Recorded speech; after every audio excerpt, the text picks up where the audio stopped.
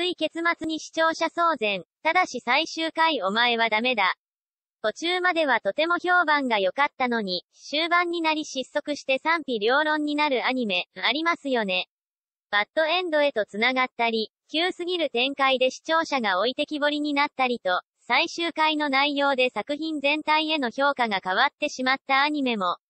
この記事では、最終回がきつすぎたアニメを3作品ご紹介します。SNS でも、すごく、狂気を感じます。どうしてああなった、と評判です。画像、視聴者ポカン、最終回で騒然となったアニメをもっと見る、6枚。この記事は、クロノクルセード、クマミコ、リライト、最終回についてのネタバレを含みます。舞台は、まだ第一次世界大戦が終わって間もない、アメリカ・ニューヨーク。急激な経済発展を遂げる一方で、アメリカの外からは、色々な目に見えぬ怪異、すなわち、悪魔、が入り込もうとしていました。そうした悪魔を退治するべく、悪魔退治を専門とするマグダラ修道会のシスター。ロゼット・クリストファー、CV、川上智子は、日々付き人の黒の CV、石田明と奔走していました。ある日、依頼を受けたロゼットたちは、魔物に乗っ取られた貨物船へと赴きますが、クロノクルセードは、同名漫画、作、森山大輔、角川書店も原作としたアニメです。小説化、ドラマ CD 化もされている人気作品である本作。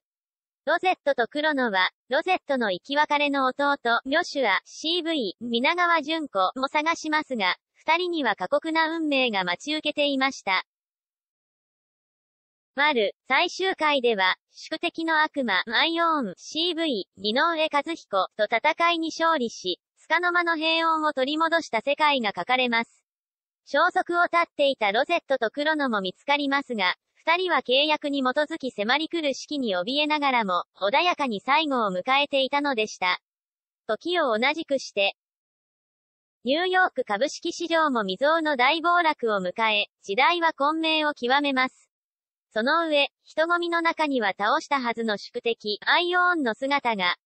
絶望的なエピローグとともに最終回は幕を閉じ、賛否両論のラストとなりました。